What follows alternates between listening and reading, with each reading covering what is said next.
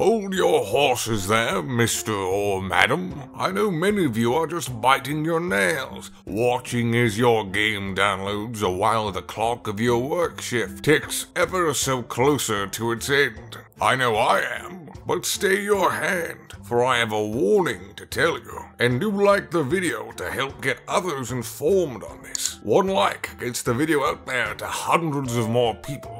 Look in the gameplay settings of your game and turn off the setting known as Karmic Dice. This setting is for those who want a dungeon master that would cheat their rolls. How it works is simple. If you get bad rolls, the game will force some rolls to be turned into good rolls. Yet, if you get some good rolls, the game will proceed to match them with bad rolls instead. This greatly harms the chance for your character to express themselves, both by hindering the chances for them to show off what they specialize in, and at the same time, crippling any moments for them to show off their horrible faults and shortcomings. If you are new to Dungeons and Dragons, I will tell you that fudging rolls is certainly a matter of debate. Many do it, and many hate when it's done.